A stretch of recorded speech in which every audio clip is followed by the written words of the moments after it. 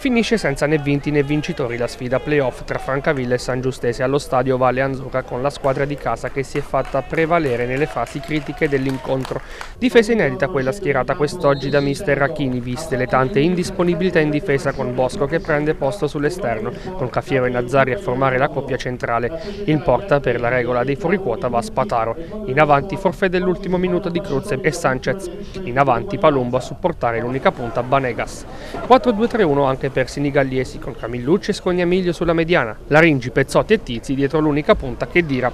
Arbitra il signor Vergaro di Bari, presenti in tribuna ospiti illustri come l'ex arbitro Gianluca Paparesta e la giornalista Mediaset Michaela Calcagno. Primi 15 minuti di studio dove accade poco nulla fino al diciottesimo quando si fa vedere per la prima volta il Francavilla con Banegas che non arriva all'appuntamento con il gol sul cross di Di Renzo.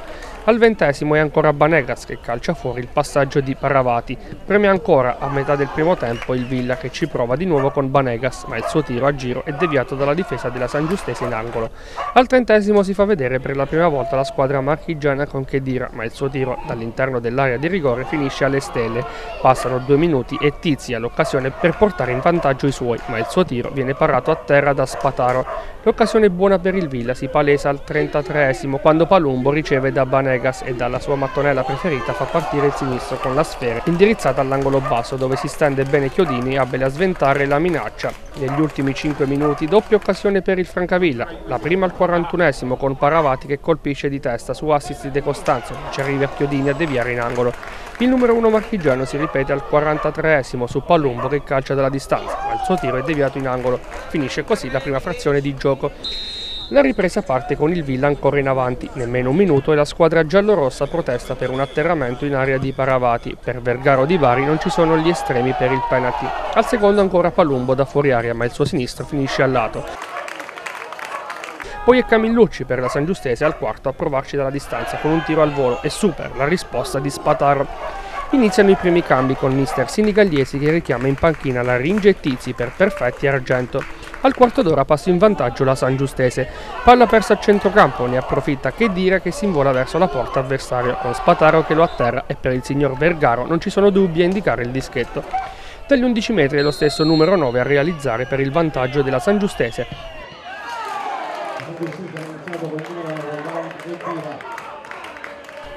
Racchini corre a ripari ed inserisce di Gioacchino per Paravati. Al sedicesimo ancora proteste per la squadra di casa per un presunto fallo di mani in area di rigore ospite. Fa proseguire il direttore di gara.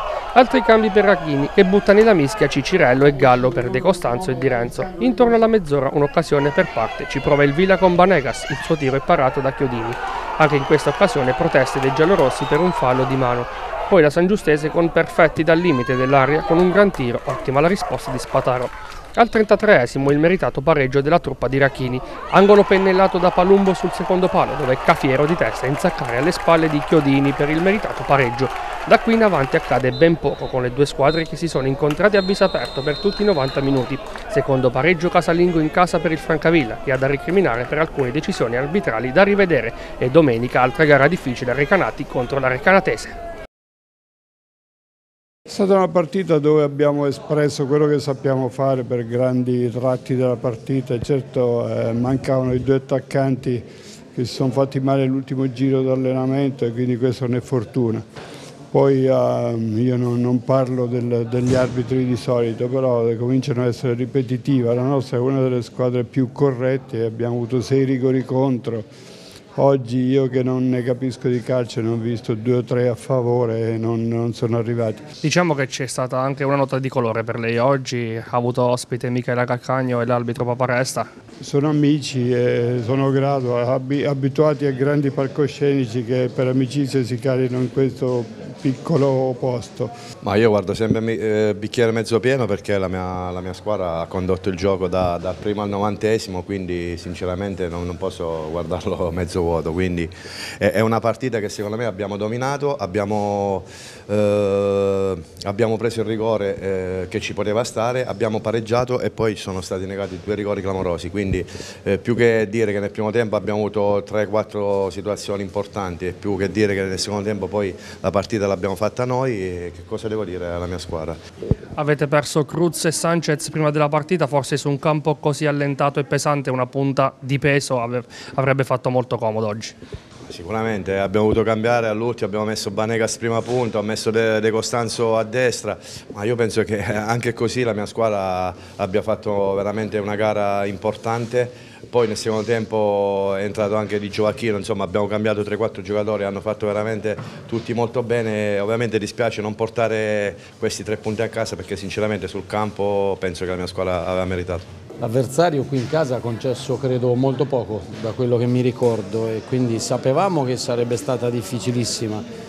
Hanno avuto più occasioni, hanno avuto secondo me anche più forza per certi versi, soprattutto dopo il pareggio, perché c'è stato un momento a cavallo del primo tempo che siamo riusciti comunque a gestire bene la palla e la partita i tempi della partita, però loro in maniera proprio veemente sono venuti fuori fisicamente, ogni cambio era alto 1,85 eh, su un campo pesante, su, in queste situazioni sotto fatica, considerando il periodo è chiaro che eh, poi i duelli a livello muscolare li vincevano, qualsiasi palla mettevano in verticale comunque vincevano i duelli di testa e quindi hanno guadagnato metri sul campo. Spesso il calcio si esamina in tante maniere ma poi si racchiude come un gioco rugby.